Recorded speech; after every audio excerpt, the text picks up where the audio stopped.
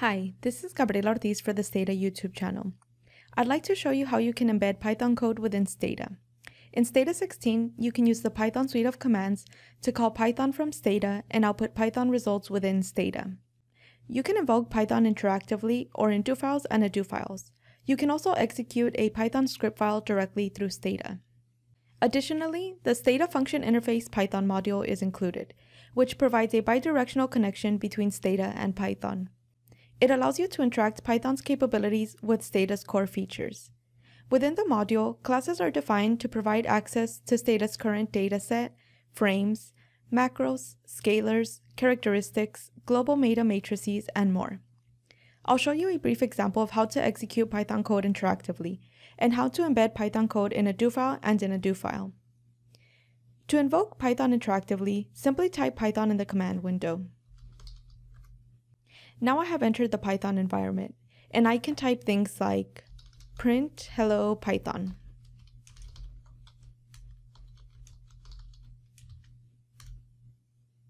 Or I can type list equal to say ABCD 123 and say 1.23.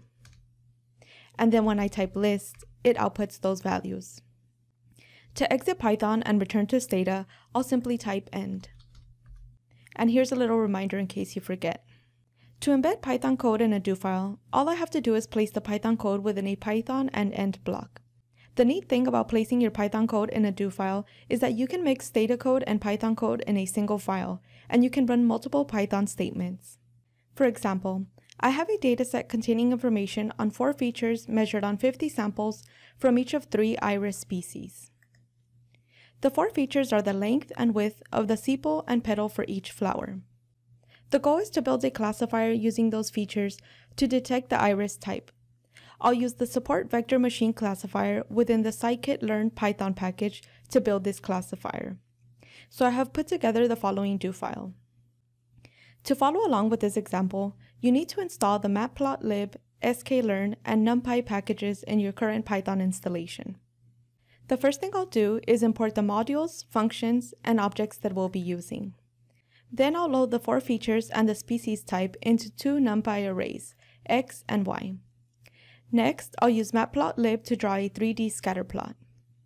Here, I build a SVC classifier and then I fit the model. After that, I obtain predictions using the train classifier and I store those predictions in a new variable irispr in Stata.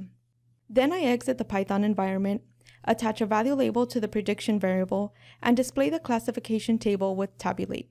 Once I run this do file, I'll get the classification table. Here you see that two iris versicolor observations were misclassified as iris virginica. And here is the 3D scatter plot. Python code can be executed in ado files as well. For example, I'll demonstrate how to recreate this table using an ado file. I have a file here saved as mysvm.ado, which creates the mysvm command. In this ado file, I've defined the classifier within the Python function doSVM. This function will take the iris variable, the four feature variables, and the new variable storing the predictions as arguments. Note how I called the Python function with python colon. So to recreate the classification table, I have created the following do file, which uses the mysvm command. Here I specify the iris variable, the feature variables, and the new variable that will store the predictions. Once I run this do file, I will have recreated the classification table. And here you see the table. So this is how you can embed Python code within Stata. If you would like to learn more about embedding Python code within Stata, you can visit our website at stata.com. Thank you for watching.